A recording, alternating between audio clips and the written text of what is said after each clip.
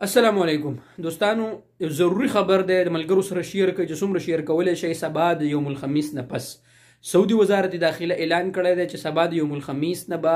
څنګه چې مخکې په ماسک اچولو باندې یعنی چا به چې ماسک نه واچول نو په هغې باندې به جرمانه به وه او په بار په دویم ځل باندې بیا جرمانه نور هم زیاتې ده لہذا د سبا نه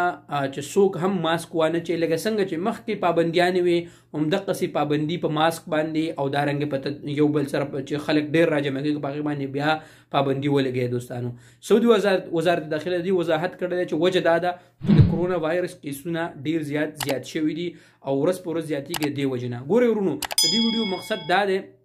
بعضی افلاطونان بیا ماته په کمنټس کې وایي چې یار عمر باید داسې ویډیوز دا کې د دې ویډیو زما مقصد دغه دی چې زه خپل هغه پښتنو ورونو ته دا ورسوم چې یاره هغه د دې هغه نه ګوري سوشل میډیا یا هغه نه خبر نه او هغه لکه مطلب بیا هغه جرمانه کیږي او بیا هغه ته مشکلات لہذا څومره چې ورونو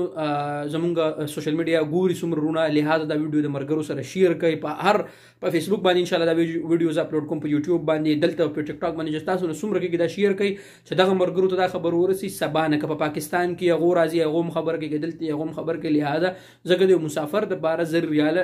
ډیر شي دي لہذا څومره چې زمونږ پردیسیان رونه دي مسافر رونه دي پښتانه دي په کم ځای کې تاسو رونه واوري سبا نه سبانه ماسک څنګه چې په ماسک باندې د مخ کې چې چا بنو چولې جرمانه به ودقه سبانه بیا پابندیان ولګي دوستانو لہذا تاسو ځان سره چې کوم دینو دا خبره نوٹ کړئ ځان سره ماسک په هر ځای کې ځان سره په جیب کې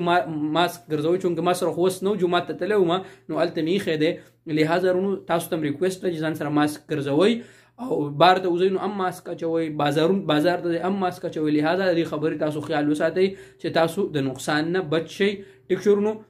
لہذا ان شاء الله تاسو به دې خبره باندې عمل کوئ د خیر سره او ان شاء الله تاسو به ځان به د نقصان نه خیر سره بچ کوئ